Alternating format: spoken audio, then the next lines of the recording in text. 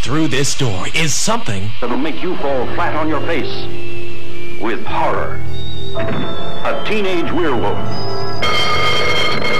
A bonanza of terror with Michael Landon in a powerful performance as the boy possessed. Control this Hollywood horror and his two co-stars with spells or weapons if you can.